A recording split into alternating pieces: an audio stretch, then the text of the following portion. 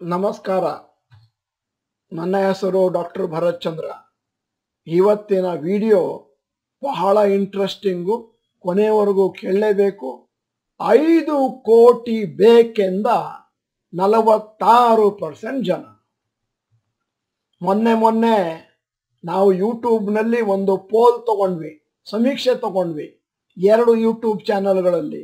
ನಿಮಗೆ ರಿಟೈರ್ಮೆಂಟಿಗೆ ಎಷ್ಟು ದುಡ್ಡು ಬೇಕು ಅಂತ. ಬಹಳ ಜನ ಪಾರ್ಟಿಸಿಪೇಟ್ ಮಾಡಿದ್ರು. ಕೊನೆಯಲ್ಲಿ ರಿಸಲ್ಟು ಈ ತರ ಇತ್ತು.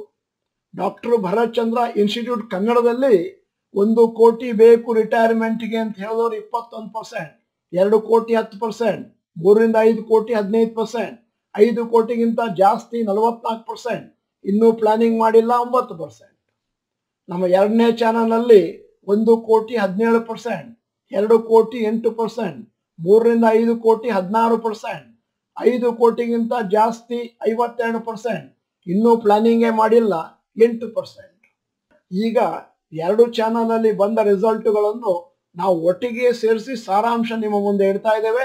ಆಶ್ಚರ್ಯಕರವಾದಂತ ರಿಪೋರ್ಟ್ ಬಂದಿದೆ. ಒಂದು ಕೋಟಿ ಬೇಕು ಅಂತ ಹೇಳಿದವರು ಎಂಟುನೂರ ಐವತ್ತೈದು ಜನ ಇಪ್ಪತ್ತು ಪರ್ಸೆಂಟ್ ಎರಡು ಕೋಟಿ ಬೇಕು ಅಂತ ಹೇಳಿದವರು ನಾನ್ನೂರ ಆರು ಜನ ಹತ್ತು ಪರ್ಸೆಂಟ್ ಮೂರರಿಂದ ಐದು ಕೋಟಿ ಹದಿನೈದು ಪರ್ಸೆಂಟ್ ಐದು ಕೋಟಿಗಿಂತ ಜಾಸ್ತಿ ಬೇಕು, ಅಂದಾಜು ಎರಡು ಸಾವಿರ ಜನ, ನಲವತ್ತಾರು ಪರ್ಸೆಂಟ್ ಇನ್ನೂ ಪ್ಲಾನಿಂಗೇ ಮಾಡಿಲ್ಲ. ಮುನ್ನೂರ ಎಪ್ಪತ್ತೈದು ಜನ, ಒಂಬತ್ತು ಪರ್ಸೆಂಟ್ ನಾವು ನಮ್ಮ ಕಾರ್ಯಾಗಾರ ನಡೆಸಬೇಕಾದ್ರೆ ಜನರಿಗೆ ಕೇಳೋದು ರಿಟೈರ್ಮೆಂಟಿಗೆ ಕನಿಷ್ಠ ಒಂದು ಕೋಟಿ ಜನಕ್ಕೆ ಬೇಕು ಅಂತ. ಅಲ್ಲಿ ಸುಮಾರು ಎಂಬತ್ತು, ತೊಂಬತ್ತು ಜನ ಆಗ್ತಾರೆ. ಆದರೆ ಇಲ್ಲಿ ಬಂದು ನೋಡಿದಾಗ ನಮಗೆ ಗೊತ್ತಾದ ವಿಚಾರ, ಜನರಿಗೆ ಕನಿಷ್ಠ ಐದು ಕೋಟಿ ಬೇಕು ಅನ್ನುವಂತ ಆಸೆ ಇದೆ. ಬಹಳ ಜನ ತಿಳ್ಕೊಂಡಿರ್ಬೋದು. ಐದು ಕೋಟಿ ಒಂದು ದೊಡ್ಡ ಅಮೌಂಟ್ ರಿಟೈರ್ಮೆಂಟಿಗೆ ಆದರೆ ಇವತ್ತಿನಿಂದ ಇಪ್ಪತ್ತು, ಮೂವತ್ತು ವರ್ಷಗಳ ಬಳಿಕ ಐದು ಕೋಟಿ ದೊಡ್ಡ ಅಮೌಂಟ್ ಅಲ್ಲ, ಮತ್ತೆ ಐದು ಕೋಟಿಯಲ್ಲಿ ನಾವು ಏನನ್ನು ಕೊಳ್ಳಬಹುದು ಅನ್ನುವಂತ ವಸ್ತುಗಳು ಕೂಡ ಕಮ್ಮಿ ಆಗ್ತಾ ಹೋಗ್ತವೆ. ಉದಾಹರಣೆಗೆ, ನಿಮ್ಮ ಐದು ಕೋಟಿಗೆ ನಿಮ್ಮ ಅರವತ್ತನೇ ವಯಸ್ಸಿನಲ್ಲಿ ಏನು ವ್ಯಾಲ್ಯೂ ಇರಬಹುದು ಪರ್ಚೇಸಿಂಗ್ ಪವರ್ ಇರಬಹುದು ಅಂತ ಲೆಕ್ಕ ಹಾಕಿ ಈ ಟೇಬಲ್ ಅಲ್ಲಿ ತೋರಿಸಿದ್ದೇವೆ. ಮತ್ತೆ ವರ್ಷಕ್ಕೆ ಏಳು ಪರ್ಸೆಂಟ್ ಹಣದ ಉಬ್ಬರ ಅಂತ ಲೆಕ್ಕ ಹಾಕಿದ್ದೇವೆ. ಇಪ್ಪತ್ತೈದು ವರ್ಷದವರಿಗೆ ಅರವತ್ತನೇ ವಯಸ್ಸಿನಲ್ಲಿ ಐದು ಕೋಟಿ ಬಂದ್ರೆ ಇವತ್ತಿನ ನಲವತ್ತಾರು ಪಾಯಿಂಟ್ ಎಂಟು ಎರಡು ಕೋಟಿ ಬಂದಾಗಾಯ್ತು. ಮೂವತ್ತು ವರ್ಷದವರಿಗೆ ಅಂದಾಜು ಅರವತ್ತಾರು ಲಕ್ಷ, ನಲವತ್ತು ವರ್ಷದವರಿಗೆ one point two nine crores ಮತ್ತೆ ಐವತ್ತು ವರ್ಷದವರಿಗೆ ರಿಟೈರ್ಮೆಂಟ್ಗೆ ಐದು ಕೋಟಿ ಬಂತು ಅಂತಂದ್ರೆ ಅದರ ಕೊಳ್ಳುವ power two point five four crores ನಿಮ್ಮ ಸರ್ವೆಯ ರಿಸಲ್ಟ್ ಅನ್ನು ನೋಡಿದ ಮೇಲೆ ಇವತ್ತು ಇನ್ನೂ ಒಂದು ಅಂಕಿ ಅಂಶನ ನಿಮ್ಮ ಮುಂದೆ ಇಡ್ತಾ ಇದ್ದೇವೆ. ನಿಮಗೆ ಐದು ಕೋಟಿ ಬೇಕು ಅಂತಂದ್ರೆ ಯಾವ ವಯಸ್ಸಿನಲ್ಲಿ ಪ್ರಾರಂಭ ಮಾಡಿದ್ರೆ ಎಷ್ಟು ದುಡ್ಡು ಹಾಕಬೇಕಾಗುತ್ತೆ? ಮೊದಲನೆಯ ಚಾರ್ಟ್ನಲ್ಲಿ ನಾನು ಇಪ್ಪತ್ತೈದು ವರ್ಷದ ವ್ಯಕ್ತಿಯ ಬಗ್ಗೆ ಮಾತಾಡಿದ್ದೇನೆ. ಐದು ಕೋಟಿ ರಿಟೈರ್ಮೆಂಟ್ಗೆ ಬೇಕು. ಇನ್ನು ಮೂವತ್ತೈದು ವರ್ಷ ಇದೆ ಅಂತ ಆದ್ರೆ ಹನ್ನೆರಡು ಪರ್ಸೆಂಟ್ ಆಗಿ ರಿಟರ್ನ್ಸ್ ಬಂದ್ರೆ ಎಂಟು ಸಾವಿರದ ಏಳ್ನೂರು ಕಟ್ಟಬೇಕಾಗುತ್ತೆ ತಿಂಗಳಿಗೆ. ಮತ್ತೆ ಹದಿನೈದು ಪರ್ಸೆಂಟ್ ಆಗಿ ರಿಟರ್ನ್ಸ್ ಬಂದ್ರೆ ನಾಲ್ಕು ಸಾವಿರದ ಇನ್ನೂರು ಕಟ್ಟಬೇಕಾಗುತ್ತೆ ತಿಂಗಳಿಗೆ. ಮತ್ತೆ ಹದಿನೆಂಟು ಪರ್ಸೆಂಟ್ ಆಗಿ ರಿಟರ್ನ್ಸ್ ಬಂದ್ರೆ ಎರಡ್ ಸಾವಿರ ರೂಪಾಯಿಯನ್ನು ಕಟ್ಟಬೇಕಾಗುತ್ತೆ ಪ್ರತಿ ತಿಂಗಳು. ತಕ್ಷಣ ನೀವು ನನ್ನ ಹತ್ರ ಕೇಳ್ಬೋದು, ಹನ್ನೆರಡು, ಹದಿನೈದು, ಹದಿನೆಂಟು ಎಲ್ಲಿ ಬರುತ್ತೆ? ಯಾಕಂದ್ರೆ ಫಿಕ್ಸಡ್ ಡಿಪಾಸಿಟ್ ಅಲ್ಲಿ ಬರೋದು ಐದು. ಈಗ ಲೆಕ್ಕ ಹೇಳ್ತೇನೆ, ನೀವು ದೀರ್ಘಾವಧಿಗೆ ಈಕ್ವಿಟಿ ಮ್ಯೂಚುವಲ್ ಫಂಡ್ ಅಲ್ಲಿ ಹಾಕಿದ್ರೆ ಹನ್ನೆರಡು ಪರ್ಸೆಂಟ್ ನಿರೀಕ್ಷೆ ಮಾಡ್ಬೋದು, ದೀರ್ಘಾವಧಿಗೆ ಷೇರುಗಳಲ್ಲಿ ಹಾಕಿದ್ರೆ ಹದಿನೈದು ಪರ್ಸೆಂಟ್ ನಿರೀಕ್ಷೆ ಮಾಡಬಹುದು ಮತ್ತೆ ದೀರ್ಘಾವಧಿಯಲ್ಲಿ ಉತ್ತಮವಾದ ಷೇರುಗಳನ್ನು ಆಯ್ಕೆ ಮಾಡಿ, ಮತ್ತೆ ನಾನು ಅದನ್ನು ಆಗಾಗ ಮಾನಿಟರ್ ಮಾಡ್ಕೊಂಡು ಹೋಗ್ತೇನೆ. ಡಾಕ್ಟರ್ ವರಚಂದ್ರ ಚಂದ್ರ ಕಾರ್ಯಕ್ರಮ ತಗೊಂಡಿದ್ದೀನಿ ಅಂತಂದ್ರೆ ಆವಾಗ ಏಯ್ಟೀನ್ ಪರ್ಸೆಂಟ್ ಎಕ್ಸ್ಪೆಕ್ಟ್ ಮಾಡಬಹುದು ಇನ್ನು ಬೇಕಾದಷ್ಟು ಸ್ಲೈಡ್ಗಳಿದ್ದಾವೆ ನಾನು ಅವುಗಳನ್ನೆಲ್ಲ ಆದಷ್ಟು ಸಂಕ್ಷಿಪ್ತವಾಗಿ ಹೇಳ್ತಾ ಹೋಗ್ತೇನೆ. ಮೂವತ್ತು ವರ್ಷದವರು ಮೂವತ್ತು ವರ್ಷದ ಬಳಿಕ ಹದಿನೈದು ಪರ್ಸೆಂಟ್ ಆವರೇಜ್ ಅಂತ ತಗೊಂಡ್ರೆ ತಿಂಗಳಿಗೆ ಎಂಟು ಸಾವಿರದ ನಾನೂರು ಹಾಕಬೇಕಾಗತ್ತೆ. ಮೂವತ್ತೈದು ವರ್ಷದವರು ರಿಟೈರ್ಮೆಂಟ್ಗೆ ಇಪ್ಪತ್ತೈದು ವರ್ಷ ಅಂತ ತಿಳ್ಕೊಂಡ್ರೆ ತಿಂಗಳಿಗೆ ಹದಿನೇಳು ಸಾವಿರ ಹಾಕಬೇಕಾಗುತ್ತೆ.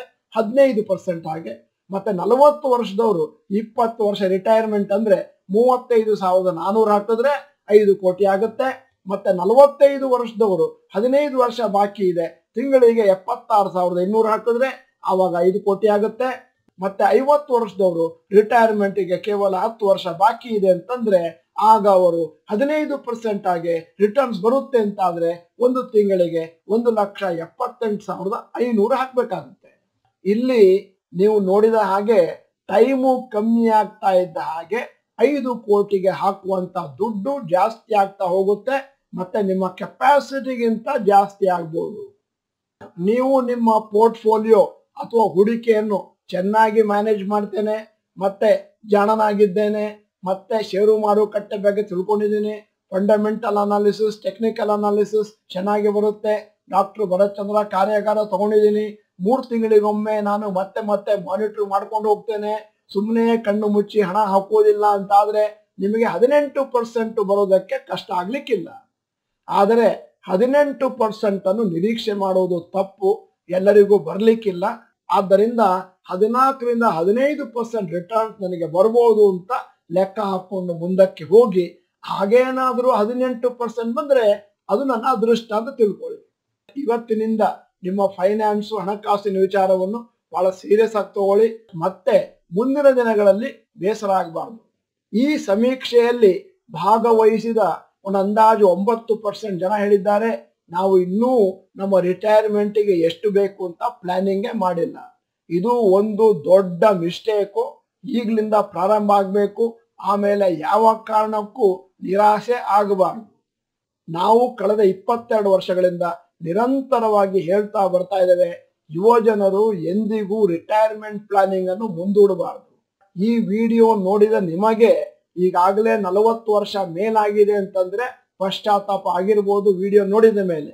ಆದ್ದರಿಂದ ದಯವಿಟ್ಟು ಈ ವಿಡಿಯೋನ ಆದಷ್ಟು ಎಲ್ಲ ಮನೆಗಳಿಗೂ ಕಳಿಸ್ಕೊಡಿ.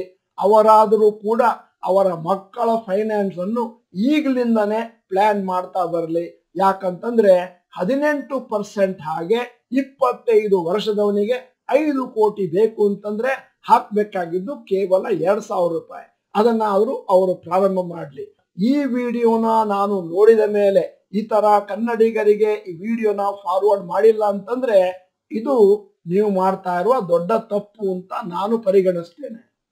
ನಾಳೆ ಏಪ್ರಿಲ್ ಹನ್ನೊಂದು ಸೋಮವಾರ ಒಂಬತ್ತು ಗಂಟೆ ಹದಿನೈದು ನಿಮಿಷಕ್ಕೆ ನಮ್ಮ ಚಾನೆಲ್ ಒನ್ನಲ್ಲಿ ಡಾಕ್ಟರ್ ಭರತ್ಚಂದ್ರ ಇನ್ಸ್ಟಿಟ್ಯೂಟ್ ಕನ್ನಡದಲ್ಲಿ ಲೈವ್ ಪ್ರಶ್ನೆಗಳಿಗೆ ಉತ್ತರ ಕೊಡುವ ಸೆಷನ್ ಇದೆ. ನಮ್ಮ ಎಲ್ಲಾ ಚಾನೆಲ್ ಮೆಂಬರ್ಸ್ ಕೂಡ ಷೇರು ಮಾರುಕಟ್ಟೆ ಬಗೆಗಿನ ಪ್ರಶ್ನೆಗಳನ್ನು ಕೇಳಬಹುದು. ಆದರೆ ಒಂದು ವಿಚಾರ, ಈ ವಿಡಿಯೋನ ಎಲ್ಲರಿಗೂ ಫಾರ್ವರ್ಡ್ ಮಾಡಿ, ಆಗ ಬೇರೆಯವರು ಹೊಸದಾಗಿ ಸೇರ್ಕೊಳ್ಳೋರು ಕೂಡ ಪ್ರಶ್ನೆಗಳನ್ನು ಕೇಳಲಿಕ್ಕೆ ಅನುಕೂಲ ಆಗುತ್ತೆ. ಕೊನೆಯಲ್ಲಿ ನಿಮ್ಮ ಜನರಲ್ ನಾಲೆಜ್ಗಾಗಿ ಒಂದು ಪ್ರಶ್ನೆ. ಇತ್ತೀಚಿನ ದಿನಗಳಲ್ಲಿ ಒಂದು ಕಂಪನಿಯವರು ತಮ್ಮ ಕಂಪನಿ ಹೆಸರನ್ನು ರೆಸ್ಟೋರೆಂಟ್ ಬ್ರ್ಯಾಂಡ್ಸ್ ಏಷ್ಯಾ ಅಂತ ಮಾಡಿಕೊಂಡ್ರು. ಅದು ಯಾವ ಕಂಪನಿ ಅಂತ ನಿಮ್ಮ ಹತ್ರ ಪ್ರಶ್ನೆ ಕೇಳ್ತಾ ಇದ್ದೇನೆ. ನಿಮ್ಮ ಎದುರು ನಾಲ್ಕು ಆಯ್ಕೆಗಳಿದಾವೆ. ಅದರಲ್ಲಿ ನಿಮಗೆ ಸರಿ ಎಣಿಸಿದ ಉತ್ತರವನ್ನು ನೀವು ಕಮೆಂಟ್ ಬಾಕ್ಸ್ನಲ್ಲಿ ಟೈಪ್ ಮಾಡಬೇಕಾಗುತ್ತೆ. ಮೊದಲನೇ ಆಯ್ಕೆ ಝೊಮ್ಯಾಟೊ ಎರಡನೇ ಆಯ್ಕೆ ಕೆ ಎಫ್ ಸಿ ಮೂರನೇ ಆಯ್ಕೆ ಬರ್ಗರ್ ಕಿಂಗ್ ಮತ್ತು ನಾಲ್ಕನೆಯದು ಮ್ಯಾಕ್ಡೊನಾಲ್ಡ್ಸ್ ನೀವು doctor Bharat Chandra channel member ಅಲ್ಲ ಅಂತಾದ್ರೆ ಇದೀಗ ಸಮಯ ಸಬ್ಸ್ಕ್ರಿಪ್ಷನ್ ಬಟನ್ ಬೆಲ್ ಐಕಾನ್ ಒತ್ತಿ ವಿಡಿಯೋ ಚೆನ್ನಾಗಿದ್ರೆ ಲೈಕ್ ಬಟನ್ ಒತ್ತೋದನ್ನು ಮರಿಬೇಡಿ. ಮತ್ತೆ ಈ ವಿಡಿಯೋನ ಎಲ್ಲಾ ಕನ್ನಡಿಗರಿಗೂ ಕಳಿಸ್ಕೊಡಿ ಅಂತ ನಾನು ಕನ್ನಡ ಡಿಂಡಿಮವನ್ನು ಸುಮಾರು ಅಂದಾಜು ಎರಡು ವರ್ಷದಿಂದ ಹೇಳ್ತಾ ಇದ್ದೇನೆ. ಯಾರು ಅದನ್ನ ಫಾರ್ವರ್ಡ್ ಮಾಡಿದ ಲಕ್ಷಣಗಳು ಕಾಣ್ತಾ ಇಲ್ಲ. ಈ ವಿಡಿಯೋನ ಸಂಪೂರ್ಣವಾಗಿ ನೋಡಿದ್ದಕ್ಕೆ ಧನ್ಯವಾದಗಳು. ನಮಸ್ಕಾರ.